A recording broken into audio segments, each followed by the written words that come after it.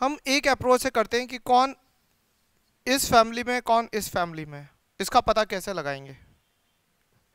How can decide planar non planar of cumulene तो deciding factor क्या है? Deciding trick बोल दीजिए आप। क्या है मेरे लिए तो? कि मैं क्यूमुलिन को लिखता हूँ। कितनी ही बड़ी क्यूमुलिन क्यों नहीं हो? मान लीजिए इतनी बड़ी है। और उसके बाद यहाँ ए और बी जुड़ा हुआ है, यहाँ एक्स और वाई जुड़ा हुआ है। पहले पता लगाओ ये प्लेनर है या नहीं है, कैसे पता लगाएँगे? आप दो दो के ग्रुप में काटते जाओ, कोई दिक्कत ही नहीं है।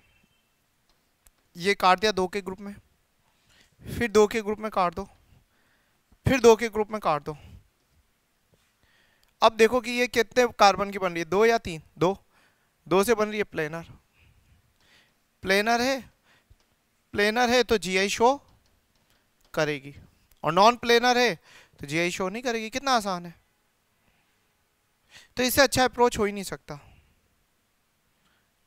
लेकिन ध्यान रखना, अगर ये जी आई शो करी तो उसके पीछे ये भी है कि यहाँ पर एक्स वाई है। अगर यहाँ पर दोनों जगह एक्स एक्स हो गया या वहाँ दोनों जगह ए ए हो गया, फिर ख़त्म, फिर जी आई नहीं शो करेगी। प्लेनर होगी, लेकिन फिर भी जी आई नहीं शो करेगी, क्योंकि सेम कार्बन पे दोनों ग्रुप एक एटम हो गए।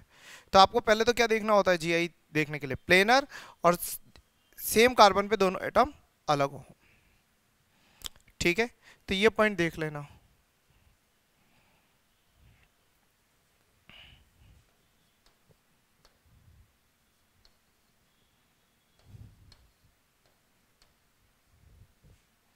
ठीक है, लिखें इसको।